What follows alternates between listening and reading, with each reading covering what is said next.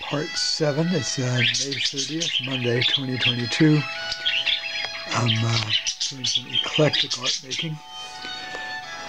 Painting in uh, this section here, which is inspired by, rather eclectically, by this imagery there from a uh, plate in the Kalonymus Bible, which is the uh, original owned uh, some collection of a university, probably the library in Poland.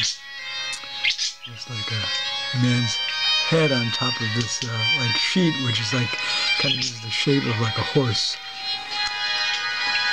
There's a hat, beard. All right, to be continued.